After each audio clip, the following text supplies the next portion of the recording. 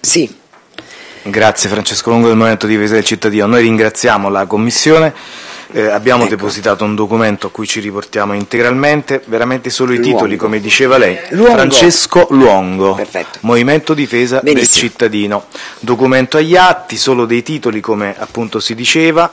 Viva le liberalizzazioni, lavoriamoci bene nell'interesse dei cittadini, non solo delle aziende, insieme, comunicazioni, non fate rientrare dalla finestra quanto uscito dalla porta. Interrompiamo e approfondiamo per quanto riguarda turismo, servizi e trasporto, cominciamo a guardare seriamente alla modifica della legge 2192 per quanto riguarda il trasporto di persone mediante autoservizi pubblici, le piattaforme online di servizi di noleggio che sono offerte oggi dalla famosa società Uber Italy eccetera eccetera, devono cominciare a essere riconosciute, su queste va fatto un ragionamento in termini di commissione. Grazie. Grazie, grazie.